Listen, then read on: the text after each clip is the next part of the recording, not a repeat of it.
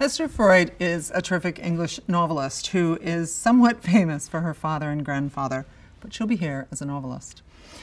Uh, Freud has recently published Mr. Mac and Me, which is a novel set in 1914 and tells the story of a young boy's uh, friendship with an older painter.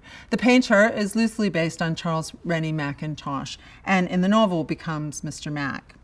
The story is of a sleepy town Thomas is the son of the publican. He meets Mac and his wife, Mr. Mac and his wife, and he begins to learn about what it means to be an artist. As an artist, of course, they are slightly suspicious characters.